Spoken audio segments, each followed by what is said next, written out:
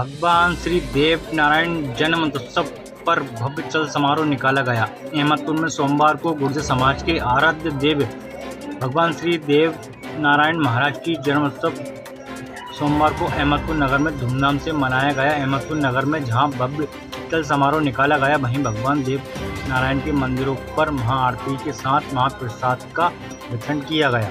समस्त पूजा समाज के तत्वान में आयोजित किए गए भगवान श्री देव नारायण जन्मोत्सव समारोह के अवसर पर पर चल समारोह नगर के अहमदपुर के मंदिरों से प्रारंभ प्रारंभ हुआ। भगवान देव नारायण की सामूहिक पूजा अर्चना के बाद प्रारंभ हुए। चल समारोह में धर्म ध्वजा हाथ में थामे चल रहे थे तो बड़ी संख्या में लोग नाचते गाते हुए चल रहे थे। इस दौरान डीजे की धुन और भगवान देव नारायण के भजनों पर समाज के लोग जमकर नाचे।